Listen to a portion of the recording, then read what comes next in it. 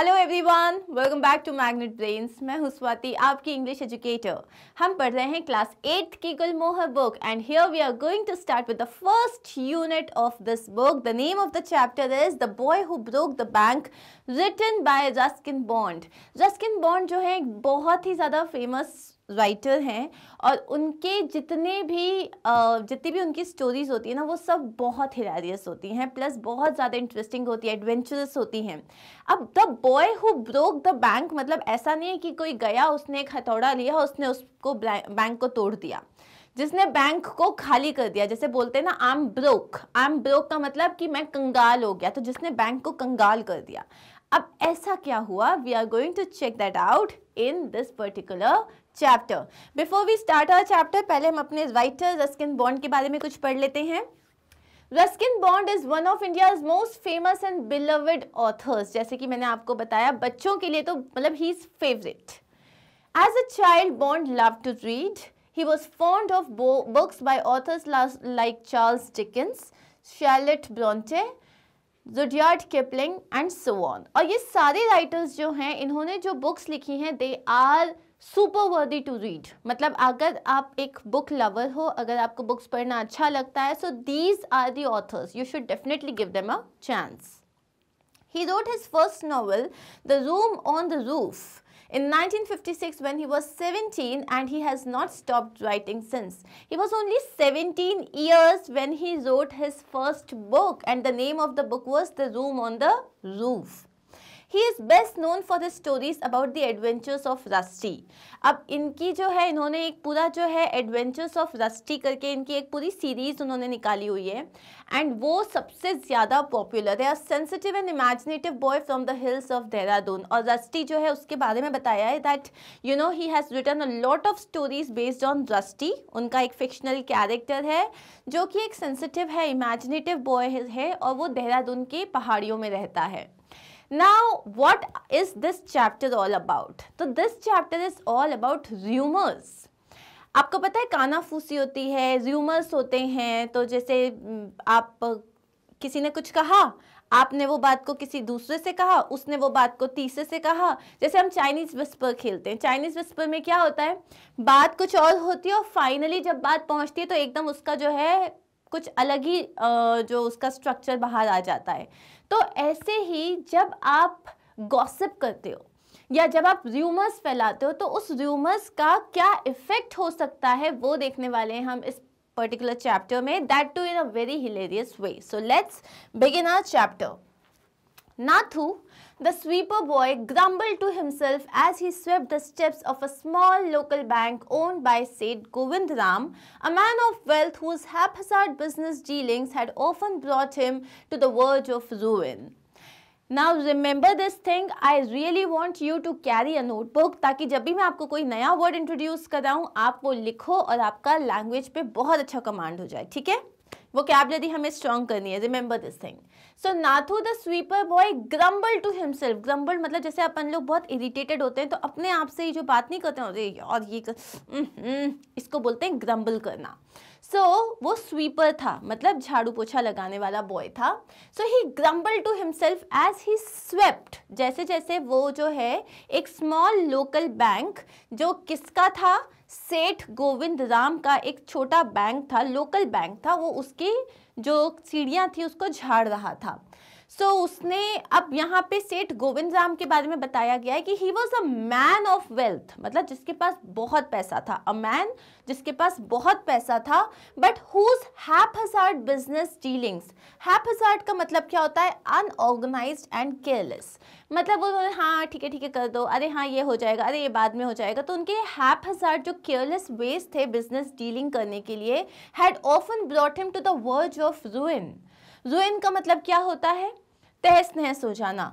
To the verge of ruin मतलब almost at the point of losing all his money तो उनके जो business करते हैं, जितने भी बिजनेसमैन होते हैं, उनको बहुत ऑर्गेनाइज होना पड़ता है, बहुत केयरफुल होना पड़ता है।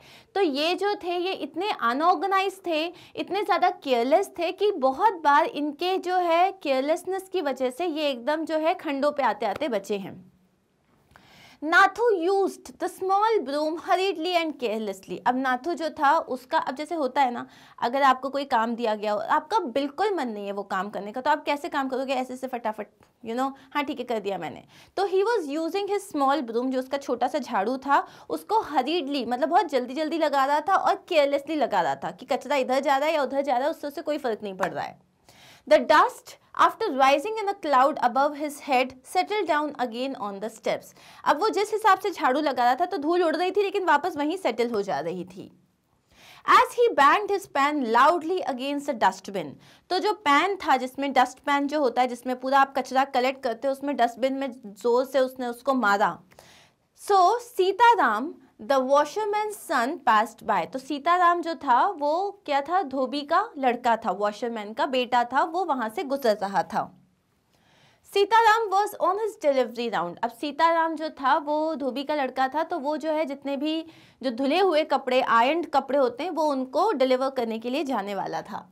He had a bundle of freshly pressed clothes balanced on his head तो उसके पास एकदम अभी अभी जो आयरन क्लोथ्स होते हैं pressed क्लोथ्स थे वो उसको अपने सर पे लेके जा रहा था Don't raise such dust. He called out to Nathu. Are you annoyed because they are still refusing to pay you another five rupees a month? तो उसने बोला, अरे अरे, इतनी धूल मत उड़ाओ, क्योंकि उसके कपड़े पूरे गंदे हो जाते उसने बोला, क्या? अभी भी तुम अनॉयड हो, अभी भी तुम परेशान हो, अभी भी तुम गुस्सा हो, क्योंकि वो तुम्हें पाँच रुपये एक्स्ट्रा नहीं दे रहे पर मंथ मतलब मे बी नाथू ने जो है, अपने बॉस से रिक्वेस्ट किया होगा कि उसकी सैलरी बढ़ाई जाए, पाँच रुपये एक्स्ट्रा बढ़ाई जाए। लेकिन क्या हुआ? उन्होंने शायद मना कर दिया होगा तो इसे वही चीज़ पता थी। तो इसने क्या बोला कि अच्छा अभी भी उन्होंने पाँच रुपये नहीं बढ़ाए क्या?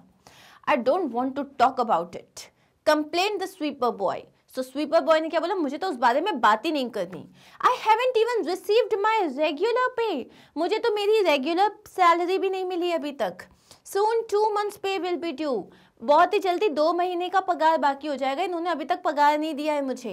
Who would think this was a bank holding up a poor man salary किसने सोचा होगा कि मैं एक बैंक में काम करता हूँ जो एक गरीब आदमी की सैलरी जो है रोक के बैठी हुई है? As soon as I get my money, I am off. Not another week will I work in this place. जैसे ही मुझे मेरा पैसा मिलता है मैं तो यहाँ से चला जाऊँगा। एक वीक भी और मैं यहाँ पे काम नहीं करूँगा। And Nathu bang the pan against the dustbin several times और गुस्से में उसने वो पैन लिया और उसको डस्टबिन के तरफ़ पे मारने लगा। मतलब बैंग करने लगा वो वहाँ पे। Well I wish you luck said Sitaram I will be on the lookout for a new job for you उसने बोला, चलो, मैं तुमको ऑल द बेस्ट विश करता हूँ और मैं तुम्हारे लिए एक नई जॉब भी ढूँढने की कोशिश करूँगा. And he plodded barefoot along the road the big bundle of clothes hiding most of his head and shoulders और उसके बाद and he plodded barefoot अब वो नंगे पाँव लड़क मतलब प्लॉडेड का मतलब क्या होता है? जब आपके सर पे या आपके हाथों में बहुत ही ज़्यादा भारी सामान होता है तो आप कैसे चलते हो? थोड़ा सा डिसबैलेंस होके चलते हो। तो प्लॉडेड का मतलब क्या होता है? Walked slowly with difficulty because he was carrying something heavy तो plodded so and he plodded barefoot अब वो नंगे पाँव चलने लग गया अलॉन्ग द रोड और वो जो बिग बंडल ऑफ़ क्लोथ्स था ना उसने उसका मोस्टली हेड और शोल्डर्स कवर किया हुआ था At the fourth home he visited, delivering the washing, Sitaram overheard the woman of the house saying how difficult it was to get someone to sweep the courtyard. अब क्या हुआ जब वो एक एक घर जा रहा था तो चौथे घर जब वो पहुँचा अपनी जो कपड़े को डिलीवर करने के लिए तो वहाँ पे उसने ओवरहर्ड अ वुमन मतलब जैसे कोई बात कर रहा है और आपने उनकी बात दूर से सुन ली उसे कहते हैं ओवर हेयर करना। सो so, उसने ओवरहर्ड अ वुमन उसने एक औरत की आवाज़ सुनी जो क्या कह रही थी कि अरे बाबा कोर्टयार्ड को मतलब बगीचे को साफ़ करने के लिए एक आदमी ढूँढने में कितना टाइम लगता है? Trying his bundle Sitaram set तो अब उसने जो है टाइंग हिज बंडल तो उसने जैसे अपने कपड़े दे दिए तो बाकी के कपड़ों को वो टाई करने लग गया मतलब जो गठरी था उसको बांधने लग गया। सीताराम ने कहा I know of a sweeper boy who is looking for work मैं जानता हूँ एक स्वीपर बॉय को जो काम ढूंढ रहा है। He might be able to work for you next month वो अगले महीने से आपके लिए काम कर सकता है।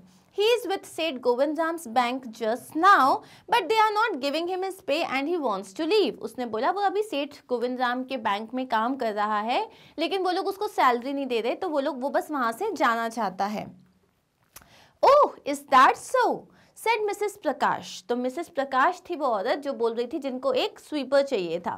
तो उन्होंने बोला अच्छा वो लोग उसे पे नहीं कर रहे and why are and they paying him वो लोग उसको पे क्यों नहीं कर रहे? They must be short of money अब सीताराम ने ऐसे ही सोचा, विद अ श्रग श्रग का मतलब क्या होता है? बस ऐसे करना। मतलब हो सकता है तो उसने बोला कि हो सकता है उनके पास कम पैसे हों। Mrs Prakash laughed well tell him to come and see me he when he is free तो मिसेस प्रकाश जो थी, वो हँसी, उन्होंने बोला अच्छा अच्छा उसे कहना कि जब वो फ्री हो जाए तो मुझसे एक बार मिल के जाएगा। Sitaram, glad he had been of help to both a customer and his friend, hoisted his bag on his shoulders and went on his way. Sitaram अब खुश था क्योंकि एक तो उसने अपने कस्टमर की हेल्प की जिसको एक स्वीपर बॉय चाहिए था प्लस उसने अपने फ्रेंड की हेल्प करी जिसको एक नौकरी चाहिए थी तो दोनों की आपस में हेल्प हो गई तो ही हॉइस्टेड हिज बैग हॉइस्टेड का मतलब होता है उसने वापस अपना बैग उठाया सर पे रखा अपने मतलब शोल्डर्स पे रखा and went on his way और वो अपने काम के लिए आगे चला गया। Soon after, Mrs. Prakash set out for the bazaar to make her usual afternoon tour of the clothes shops. So soon after Mrs. Prakash जो थी मतलब दोपहर में वो बाहर निकली मतलब बाज़ार के लिए जाने के लिए ऐसी क्लोथ शॉप्स को चेक करने के लिए a large shady tamarind tree grove near the clock tower अब जैसे हर शहर में क्लॉक टावर होता है ना तो वहाँ पे उसके बगल में एक बहुत बड़ा सा इमली का पेड़ था, उसमें काफ़ी नीचे छाया भी थी। It was here that she found her friend Mrs Bhushan sheltering from the heat और यहाँ उन्हें कौन मिला? उनकी फ्रेंड मिली, जिनका नाम था मिसेस भूषण और वो जो थी, वो मतलब इतनी जो धूप थी, उससे बस वो थोड़ी देर अपने आप को रिलैक्स करने के लिए उसके पेड़ के नीचे जो थी, खड़ी हुई थी।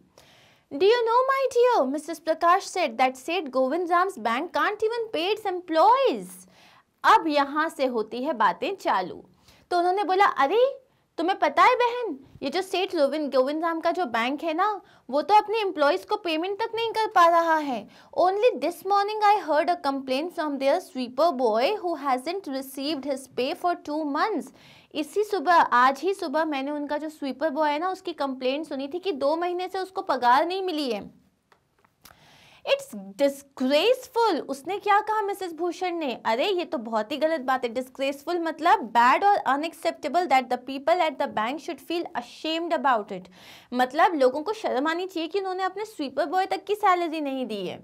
If they can't pay sweeper they must be in a bad way अगर वो अपने स्वीपर को भी पे नहीं कर पा रहे मतलब वो लोग की तो बहुत बुरी हालत होगी। None of the others can be keep getting paid इधर मतलब किसी को पेमेंट नहीं मिल रहा होगा। सबसे कम सैलरी तो स्वीपर की होती है। जब स्वीपर को पेमेंट नहीं मिल रहा है तो, तो किसी को पेमेंट नहीं मिल रहा होगा। Mrs. Bhushan left Mrs. Prakash at Tamarind Tree and went in search of her husband who was found sitting under the fan in Jugal Kishore's electrical goods shop talking with the owner.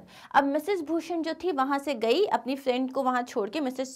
मतलब वहाँ पे Mrs. Bhushan जो थी अब वो निकली Mrs प्रकाश को उन्होंने वहाँ छोड़ दिया और अब वो अपने हस्बैंड को ढूँढने के लिए निकली। अब उनके हस्बैंड कहाँ बैठे हुए थे? He was sitting under the fan in Jugal Kishore electrical good shop Jugal Kishore की इलेक्ट्रिकल गुड शॉप में उनके हस्बैंड जो थे, वो पंखे के नीचे आराम से बैठे हुए थे और वो उनके मालिक से बात कर रहे थे।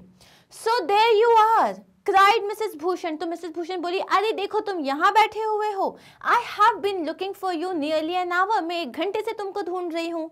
I don't know what's happening to this town मुझे समझ में नहीं आ रहा है, शहर को हो क्या रहा है? Did you know the bank is going bank क्या तुम्हें पता है कि जो बैंक है, उसके पास इतना पैसा ही नहीं है कि वो जो है दूसरों से ले सके? वो तो मतलब पूरा उसका दिवाला निकल गया है। So the topic started with कि स्वीपर को पेमेंट नहीं मिली है।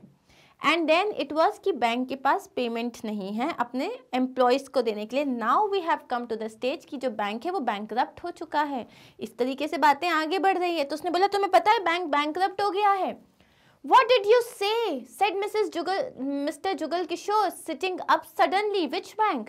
अब मिस्टर जुगल किशोर जो उस इलेक्ट्रिकल गुड्स शॉप के मालिक थे उन्होंने बोला क्या बात कर रही हो किस बैंक की बात कर रही हो आप Why? said Govindram's Bank, of course. I hear they have stopped paying their employees. No salary for over three months. अब ये बात आगे बढ़ गई है दो महीने से हम तीन महीने में पहुँच चुके हैं तो उन्होंने बोला क्यों सेठ गोविंद राम की तो बैंक की बात कर रही हूँ मैं मुझे पता चला है कि तीन महीनों से उन्होंने अपने एम्प्लॉयज़ को पेमेंट ही नहीं दी है no salary for over three months don't tell me you have an account with them Mr Kishore अरे आप कहीं ये तो नहीं कहना चाहते कि आपका उसी बैंक में अकाउंट है no but my neighbour has नहीं नहीं, मेरा अकाउंट तो नहीं है, लेकिन मेरे पड़ोसी का है। He said and he called out to the keeper of the barber shop next door उन्होंने तुरंत जो है फ़ोन उठाया और जो नेक्स्ट जो बार्बर शॉप थी, नाई की दुकान थी, उसके मालिक को कॉल किया। Faiz Hussain have you heard the latest क्या तुमने अभी अभी की खबर सुनी है? Seth Govind Ram's bank is about to collapse अभी तक बैंक रब था, अब ये कोलैप्स होने वाला है कि सेठ गोविंद राम का जो बैंक है, वो बस कोलैप्स होने वाला है। मतलब उसका वो फेल होने वाला है, उसकी पूरा, उसका वो दिवाला निकल गया, उसके पास कोई पैसा नहीं है अब। You would better take your money out while there still time तुम तो पैसे निकाल लो अपने, इससे पहले कि बहुत देर हो जाए। Faiz Hussain who was cutting the hair of an elderly gentleman so startled that his hand shook and the, and he nicked his customer's right ear तो फैज़ हुसैन, जो कि एक बूढ़े आदमी के जो हैं, बूढ़े जेंटलमैन के जो हैं, बाल काट रहे थे उस वक्त, वो इतने भौचक्के रह गए, वो इतने ज़्यादा शौक हो गए कि उनका जो हाथ था, वो अचानक से कपा और उसकी वजह से क्या हुआ? He nicked his customers right ear he nicked मतलब उन्होंने उनके कस्टमर के राइट ईयर को छोटा सा कट लगा दिया। The customer yelled with pain and distress अब जो कस्टमर था, वो ज़ोर से चिल्लाया बिकॉज़ उनका कान कट गया था। तो वो बहुत ज़ोर से पेन में और डिस्ट्रेस में चिल्लाए। डिस्ट्रेस क्यों? डिस्ट्रेस मतलब feeling of great worry and unhappiness वो बहुत ज़्यादा डिस्ट्रेस थे because of the cut pain तो था क्योंकि कट लग गया था, लेकिन डिस्ट्रेस था because of the awful new awful news he had just heard अब वो इतने वरीड हो गए थे क्योंकि उन्होंने अभी अभी जो बुरी खबर सुनी थी अबाउट सेठ गोविंद राम के जो बैंक के बारे में उन्होंने सुनी थी, उसकी वजह से वो काफ़ी परेशान हो गए। With one side of his neck still unshorn अब क्या हुआ? एक साइड जो था उसका तो हो गई उनकी जो कटिंग थी, वो हो गई। लेकिन दूसरे साइड जो था इट वॉज़ स्टिल अनशॉन मतलब वो अभी भी उसमें जो है वो कटिंग नहीं हुई थी उनकी। He leaped out of his chair and sped across the road to a general store where there was a telephone. वो उठे अपनी चेयर से और भाग के रोड के ऑपोजिट साइड में एक जनरल स्टोर था, जहाँ पे एक टेलीफोन बूथ था, वहाँ पे गए। ही डायल सेठ गोविंद राम नंबर उन्होंने सेठ गोविंद राम का नंबर डायल किया। The Seth was not at home where was he then Seth तो घर पे था नहीं। मतलब वो कहाँ पे होगा? The Seth was holidaying in Kashmir oh that was so the elderly gentleman did not believe it तो अब उनके घर पे उन्होंने बताया होगा कि सेठ गोविंद राम घर पे नहीं है। वो कश्मीर छुट्टियाँ मनाने के लिए गए हुए हैं। तो उसने बोला अच्छा छुट्टियाँ मनाने के लिए गया हुआ है। पैसा तो है नहीं। इसका मतलब ज़रूर वो झूठ बोल रहा है। उन्होंने बिलीव ही नहीं किया। He hurried back to the barber shop and told Faiz Hussain The bird has flown, said Govind Ram has left town. Definitely it means a collapse. तो अब जो है उन्होंने एक फ़ोन कॉल किया जिसमें उन्हें सामने वाले ने सही सही बताया वो कश्मीर छुट्टियाँ मनाने के लिए गए हैं इन्होंने बिलीव नहीं किया और वापस जब नाई की दुकान पे आए तो क्या कहा फैज़ हुसैन को अरे चिड़िया तो उड़ गई जो सेठ गोविंद राम है ना उन्होंने वो तो टाउन छोड़ के भाग चुके हैं। डेफिनेटली इट मीन्स कोलाप्स इसका मतलब पक्का उनका दिवाला निकल चुका है। I will have the rest of my hair cut another time मैं अपना बाकी का हेयर कट कभी और करवा लूँगा। And then he dashed out of the shop making a beeline for this office and cheque book तो उसके बाद वो तुरंत शॉप से निकले। Making a beeline. Making a beeline का मतलब क्या होता है? Went quickly and directly to his office because he wanted to withdraw his money from the bank as soon as possible making a beeline मतलब बिना कहीं इधर उधर सोचे, सीधा जिस काम के लिए आपको जाना है, सीधा सीधा वो वहीं गए। तो सीधा कहाँ गए? वो अपने ऑफ़िस गए और वहाँ से अपनी चेकबुक उठाई। क्यों? क्योंकि उनको अपने बैंक से पूरे पैसे निकलवाने थे। The news spread through the bazaar with the rapidity of a forest fire अब पूरे बाज़ार में ये जो न्यूज़ थी, ये जंगल में फैली हुई आग की तरह फैल गई। From the general store travel to the tea shop circulated amongst the customers and then spread with them in various directions to the barn seller, the tailor, the fruit vendor, the jeweler, the beggar sitting on the pavement. तो अब जैसे ये बात निकली तो general store से बात निकली चाय की दुकान तक पहुँची चाय की दुकान से वहाँ पे कस्टमर्स तक पहुँची और उसके बाद हर डायरेक्शन में फैल गई पान की दुकान पे, नाई की दुकान पे, दर्जी की दुकान पे, फ्रूट वेंडर के पास ज्वेलर के पास और जो रास्ते में बैठे उठे, बैठे हुए भिखारी के पास तक ये बात चली गई थी। हर किसी के पास ये बात पहुँच गई। Man student groups at street corners discussing the situation अब जो है, लोगों का फेवरेट पास टाइम गॉसिप करना। तो सब जो है ग्रुप्स बना के जो है स्ट्रीट के कॉर्नर्स पे बात करने लग गए इस बारे में। The small town in the foothills seldom had a crisis and never had floods earthquakes और ड्राउट अब ये जो छोटा सा गाँव था, छोटा सा टाउन था, इसमें और ये फुट हिल्स में था मतलब पहाड़ के नीचे जो था फुट हिल्स पे था। तो इस छोटे से टाउन में ना सेल्डम मतलब बहुत ही कम ऐसा होता था जब कहीं कोई क्राइसिस आ जाए। ना वहाँ फ्लड आते थे, ना वहाँ एर्थक्वेक आता था, ना वहाँ पे अकाल पड़ता था सूखा पड़ता था कुछ नहीं होता था। And so the imminent crash of the local bank set everyone talking तो ये जो इमिनेंट का मतलब क्या होता है? An unpleasant event like the crash of the bank that is likely to happen very soon तो ये जो एक अनप्लेजेंट न्यूज़ थी ये सब लोगों के लिए स्पाइस ऑफ़ द डे थी। सब लोगों के लिए मसालेदार न्यूज़ थी ये। सो so, इसकी वजह से हर कोई बात करने लग गया था and speculating and rushing about in a frenzy अब सब स्पेक्यूलेट कर रहे थे। स्पेक्यूलेटिंग का मतलब कर रहे थे guessing and discussing the causes and effects of the bank collapse without knowing any facts और डिटेल्स पता उन्हें कुछ नहीं है, लेकिन सब गेस कर रहे हैं कि ये जो बैंक है, इसका दिवाला क्यों निकला? ये बैंक क्यों हो गया? ये कोलैप्स क्यों हो गया? तो सब अपनी अपनी जो है थ्योरी दे रहे थे। About in a frenzy frenzy मतलब बहुत ज़्यादा कोई एक्साइटमेंट में बात कर रहा है, कोई एनशियस होकर बात कर रहा है। जिसका अकाउंट है और जिसका अकाउंट नहीं है, जिसके पैसे बैंक में है और जिसके पैसे बैंक में नहीं है, सब मिलके बात कर रहे हैं।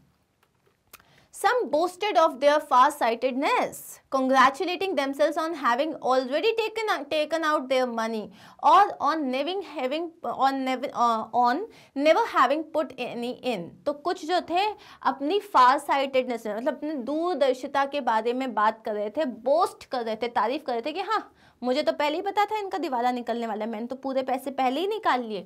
और कुछ बात कहते कि भैया, मुझे तो इस बैंक पे कभी भरोसा था ही नहीं। मैंने तो अपने पैसे कभी इसमें इन्वेस्ट करे ही नहीं। Other speculated on the reason for the crash कुछ लोग जो है स्पेक्यूलेट करे थे कि ये जो बैंक का दिवाला क्यों निकल गया? Putting it all down to Seth Govind Ram pleasure loving ways और ये पूरा उन्होंने क्या बोला? ये सेठ गोविंद राम जो है ना, उनके जो, उनको प्लेजर चाहिए होता है, पैसे उड़ाने होते हैं, यहाँ घूमना होता है, ये करना होता है, इसकी वजह से ही हुआ है ये सारा कुछ। The Seth had fled the state said one किसी ने कहा सेट जो है ना, वो टाउन छोड़ के नहीं, पूरा स्टेट छोड़ के ही भाग चुके हैं. He had fled the country said another किसी ने कहा, नहीं नहीं स्टेट नहीं, वो तो पूरी, वो तो इस देश से ही छोड़ दिया, उन्होंने देश से ही निकल चुके हैं. Others insisted that he was hiding somewhere in town कुछ लोगों ने कहा, नहीं, मेरे हिसाब से वो कहीं नहीं निकले हैं, वो अभी भी टाउन में ही कहीं छुप के बैठे हुए हैं. मतलब बातों पर बातें निकलती जा रही थी। Someone who had a relative working as a clerk in the bank decided to call him and get the facts. अब किसी का एक relative था जो उस बैंक में एक clerk की position पे काम करता था तो उसने क्या सोचा कि मैं इसे call करता हूँ और देखता हूँ क्या खबर निकल सकती है I don't know anything about it, said the clerk. Expect that half the town is here trying to make their money out. Everyone seems to have gone mad. उसने बोला मुझे इसके बारे में कुछ नहीं पता है बस मुझे इतना पता है कि आधा शहर मेरे बैंक के सामने खड़ा है सबको अपने पैसे निकालने हैं ऐसा लग रहा है सब पागल हो गए हैं There is a rumor that none of you has been paid. तो अब जो आदमी था जिसने उस क्लर्क को कॉल किया था उसने बोला ऐसा एक अफवाह फैली है कि तुम में से किसी को सैलरी नहीं मिली है well the clerks have had their salaries तो उसने बोला हमें तो हमारी सैलरी मिली है we would not be working otherwise वरना हम क्यों काम करते it may be that some of the part-time workers are getting paid late that but that isn't because you know the bank is a short, has a shortage of money it's just that the clerk who looks after the payments is on sick leave उसने बोला हम सबको हमारी salary मिल रही है। बस कुछ जो पार्ट टाइम वर्कर्स होते हैं जैसे कि स्वीपर्स होते हैं या कुछ यू you नो know, जो ऐसे छोटे मोटे काम करने वाले होते हैं हो सकता है उनकी सैलरी थोड़ा लेट आई हो और लेकिन उसका ये रीज़न नहीं है कि बैंक के पास पैसा नहीं है। उसका रीज़न ये है कि जो क्लर्क जो पार्ट टाइम ऑफिसर्स जितने भी पार्ट टाइम वर्कर्स की सैलरी पे करता है, उसकी तबीयत खराब है, जिसकी वजह से वो आ नहीं रहा है। वो सिक लीव पे है। You don't expect me to do this work do his work do you और तुम्हें नहीं लगता ना कि अब मैं उसका काम भी मैं ही करूँगा, ये तो तुम सोचते नहीं हो ना? And you put the telephone down अब उसने गुस्से में बोल दिया, तुम्हें क्या लगता है, वो क्लर्क छुट्टी पे तो अब उसका काम भी मैं ही करूँगा? और उसने धड़ाम से फ़ोन रख दिया। Which meant that everything was fine सिर्फ़ एक आदमी की तबीयत खराब थी जिसकी वजह से कुछ लोगों का पेमेंट नहीं हुआ था और पूरे शहर में बवाल हो गया By afternoon, the bank had gone through all its ready money and the harassed bank manager was helpless. दोपहर तक बैंक के पास जितना भी कैश होता है रेडी मनी का मतलब क्या होता है? जो कैश होता है, जो उसको ट्रांजेक्शन के लिए चाहिए होता है, वो पूरा खत्म हो चुका था और जो परेशान बैंक मैनेजर था, वो हेल्पलेसली वहाँ पे खड़ा हुआ था। Emergency funds could only be obtain from one of the government banks and now it was nearly closing time अब अगर इमरजी फंड इमरजेंसी फंड्स निकालने भी थे तो वो एक पास में जो गवर्नमेंट बैंक होता है, वहाँ से निकाले जा सकते थे। लेकिन अब जो है बैंक के बंद होने का टाइम हो गया था। था। The clerk shut down their counters but people gathered outside on the steps of the bank shouting अब क्लर्क्स जो थे, उन्होंने अपने काउंटर्स तो बंद कर दिए, लेकिन लोग बाहर खड़े होकर जो है नारेबाजी करने लग गए। We want our money give it to us today or we will break in हमें हमारा पैसा चाहिए। अभी कि अभी हमें हमारा पैसा दो, वरना हम बैंक का शटर वटर तोड़ के अंदर आ जाएँगे। Fetch Seth Govind Ram we know he is hiding in the walls अब किसी ने कहा गोविंद राम को ढूंढो। हमें पता है सेठ गोविंद राम जो है तुम्हारे अंदर तिजोरी जो है जो वॉल्स होते हैं जो आ, मतलब जो सीक्रेट रूम्स होते हैं जहाँ पे पैसा रखा जाता है उसमें छुपा हुआ है हमें पता है। Mischief makers who did not have a paisa in the bank join the crowd और ऐसे जो होते ना, बहुत सारे लोग जिन्हें कोई मज़ा नहीं आता, जिनको सिर्फ़ और सिर्फ़ जो है एक बखेड़ा खड़ा करना होता है, जिनका एक रुपया भी बैंक में नहीं था, उन्होंने भी उस क्राउड को ज्वाइन कर लिया। The manager stood at the door and try to calm his angry customers अब मैनेजर जो था, वो दरवाजे पे खड़े होकर सबको शांत करने की कोशिश कर रहा था। He declare the bank had plenty of money that they could withdraw all they wanted the next morning उसने बोला बैंक के पास बहुत पैसा है, आप सब कल आके अपना पैसा लेके चले जाइएगा, कहीं कोई दिक्कत नहीं है। We want it now chanted the people now now now लोग नारेबाजी करने लगे हमें हमारा पैसा भी चाहिए। अभी अभी अभी। A few stones were thrown and the manager retreated indoors, closing the iron grill gate. और लोगों ने पत्थर मारना चालू कर दिया। As they pelted the stones तो मैनेजर ने क्या किया? तुरंत शटर डाउन किया और वो अंदर चला गया बैंक के। A brick hurtled through the air and smashed into the plate glass window which advertised the bank's assets. किसी ने एक ईंट ली और उसको फेंका तो वो ईंट जो थी it flew at a great speed hurtle मतलब क्या होता है? वो गई और उसने जाके एक ग्लास विंडो था जिसमें बैंक के पूरे एडवर्टीजमेंट्स लिखे हुए थे, उसको मारा और वो पूरा का पूरा प्लेट टूट गया। Then the police arrived They climbed the steps of the bank and pushed the crowd back until the people began falling over each other. तो तभी उसके बाद जैसे ही अब ये पत्थर पत्थरबाजी होने लग गई तो पुलिस आ गई। उन्होंने पूरे जो है बैंक के स्टेप्स पे वो लोग गए। उन्होंने लोगों को जो है भगाना स्टार्ट किया और लोग एक दूसरे के ऊपर गिरे जा रहे थे। ग्रेजुअली एवरी वन धीरे धीरे सब लोग चले गए। क्या बोल के चले गए कि हम कल सुबह आएँगे। Nathu arrive next morning to sweep the steps of the bank अब ये पूरा क्योस खत्म हुआ। अगले दिन नाथू अपना काम करने के लिए आया द स्वीपर बॉय हर बार की तरह। और वो आया। He saw the refuse and the broken glass and the stones cluttering the steps तो उसने क्या देखा? He saw the refuse. Refuse मतलब बहुत सारा कचरा था। Waste material that has been thrown away जो ब्रोकन ग्लास थे स्टोन्स थे जो जो उन्होंने बैंक के ऊपर सामान फेंका था, उसने देखा इतना पूरा कचरा था। टूटे हुए ग्लास पड़े हुए थे। बहुत सारे पत्थर पड़े हुए थे। Raising his hands in order he cried Gundas, hooligans. उन्होंने बोला हे भगवान may they suffer from a thousand ills मतलब एक तो मुझे पैसा नहीं मिल रहा ऊपर से इतना कचरा करके गए हैं क्योंकि उसे तो ये सब कुछ पता ही नहीं था उसने बोला इन्हें ना हज़ारों मतलब कीड़े पड़े इन्हें हज़ारों बीमारियाँ हो जाएँ। It was bad enough being paid irregularly now I must suffer an increase of work एक तो मुझे पेमेंट नहीं मिल रही थी और मेरा काम भी बढ़ गया। He smack the steps with his broom scattering the refuse और उसने जो है सफ़ाई करना स्टार्ट किया। Good morning Nathu said Sitaram the washerman son तो गुड मॉर्निंग ना तो तभी सीताराम आया। वॉशरमैन का बेटा getting down from his bicycle अपनी साइकिल से उतरा वो are you ready to take up a new job from the first of next month उसने बोला, मैंने तुम्हारे लिए एक नया जॉब ढूंढ लिया है तो क्या तुम वो लेने को तैयार हो? You will have to I suppose now the bank is closing अब मुझे लगता है, अब जब बैंक तो बंद हो रहा है तो तुम्हें तो अब नया जॉब लेना ही पड़ेगा। What did you say said Nathu. Nathu ने बोला, क्या बोल रहे हो? बैंक बंद हो रहा है?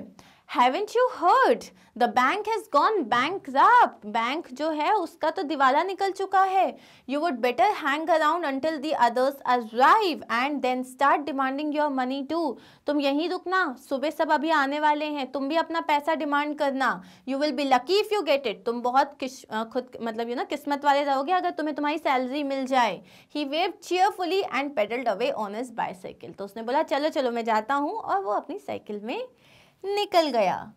Nathu went back to sweeping the steps Nathu जो है, वापस जो है, झाड़ने लग गया मटरिंग टू हिमसेल्फ और अपने आप से क्या बात करने लगा? When he had finished he sat down on the bottom step to wait for the manager सोचने लगा था, यार, ये क्या हो गया अचानक से? ऐसा कैसे हो सकता है? फिर जब उसने पूरा झाड़ दिया था तो वहीं बैठ गया मैनेजर का वेट करने के लिए। He was determined to get his pay आज तो उसने ठान दिया था कि मुझे मेरी सैलरी चाहिए ही चाहिए। Who would have thought the bank would collapse किसने सोचा था ये बैंक जो है, पूरा जो है कोलैप्स हो जाएगा? He said to himself and look thoughtfully across the street I wonder how it could have happened Nathu ने सोचा, किसने सोचा था ये बैंक जो है बैंक हो जाएगा?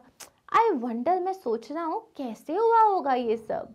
अब हमें तो पता है कैसे हुआ होगा ये सब। क्या था?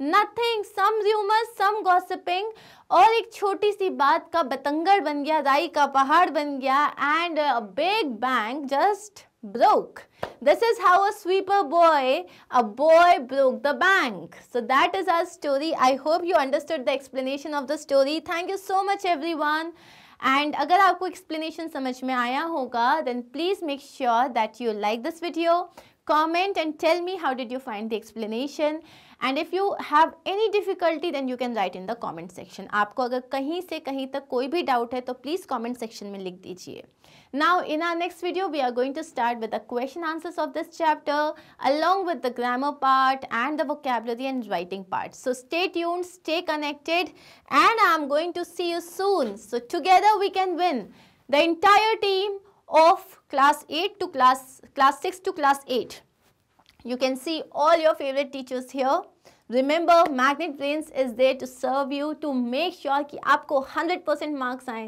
that without paying anything for it please take care of yourself i'll see you soon in my next lecture take care bye bye